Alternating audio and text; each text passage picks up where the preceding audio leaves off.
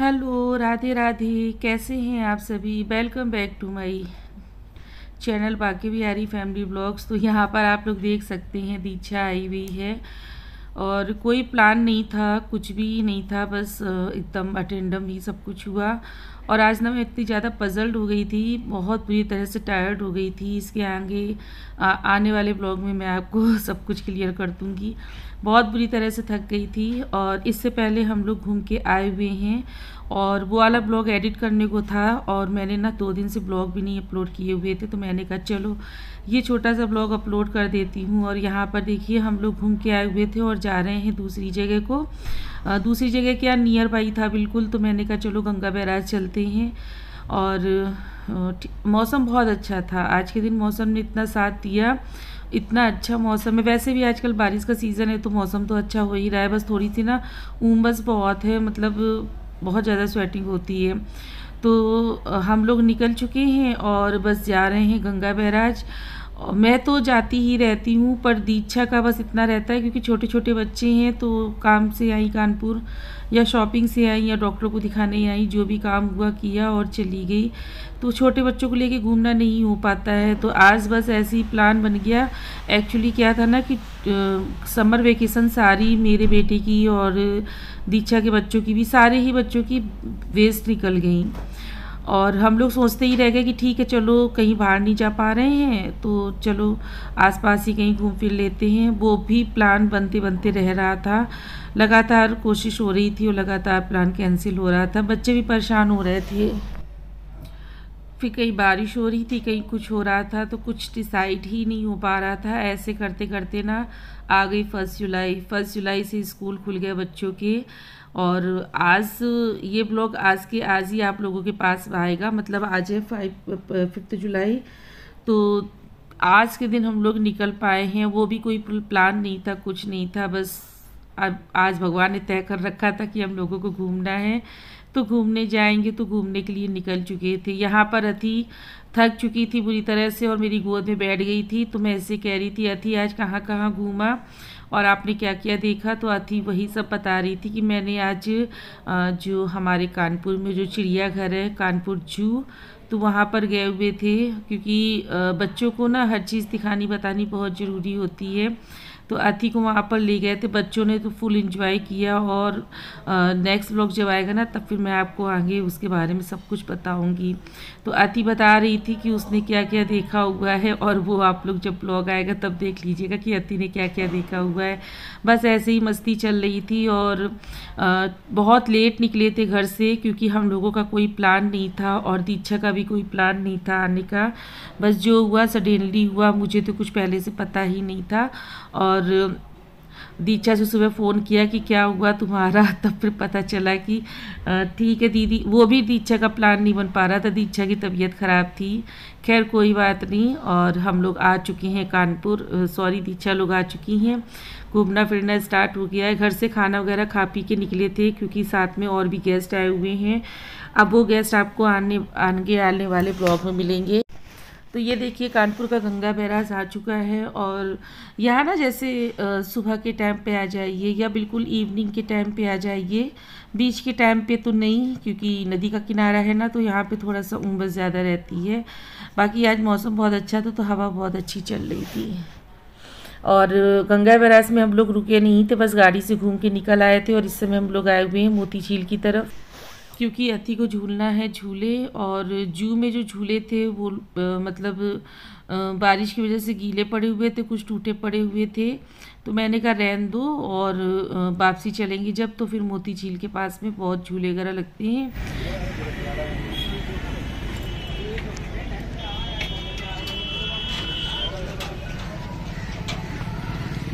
दीक्षा तुम भी बैठ जाओ। सही में कह रहे झूल लो। डुक्कू देख डुक्कू कितना खुश है। पैर सही करो डुक्कू के पैर। पकड़े रहना आकर्षित।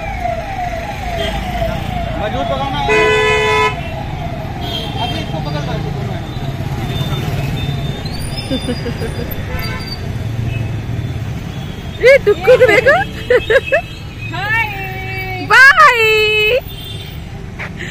पहली बार बैठा लग रहा झूले में। डर गया डर गया डर गया।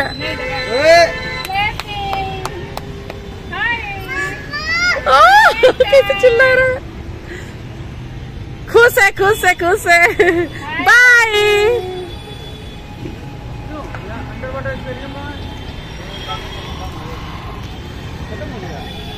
खत्म हो गया?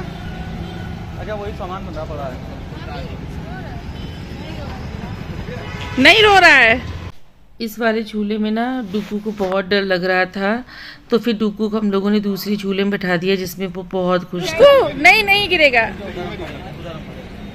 डुकू! स्टेयरिंग पकड़वाती?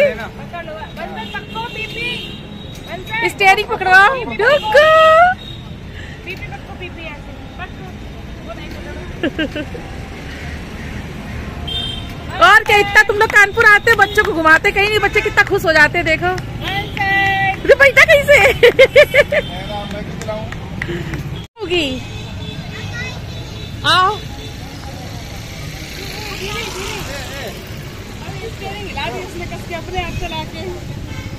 सपोर्ट पे बैठा है ना, इसलिए दिक्कत नहीं है उसको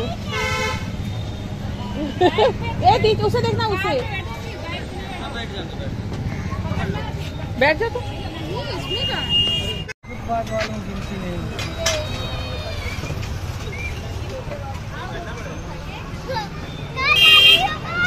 आ जा रही हो बॉल जंप करो अथी। जंप करो।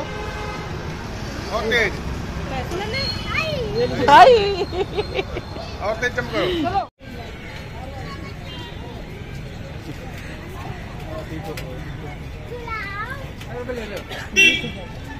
बॉल के ऊपर बैठ जाओ बॉल के ऊपर।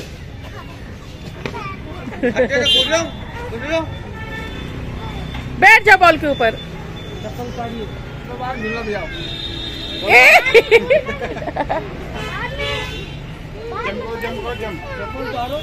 तो देखिए बच्चों बच्चे इतना ज़्यादा खुश हैं और बच्चों की वजह से ही आ, ये था कि चलो ठीक है घुमा फिरा दें क्योंकि बच्चे भी बहुत परेशान हो जाते हैं।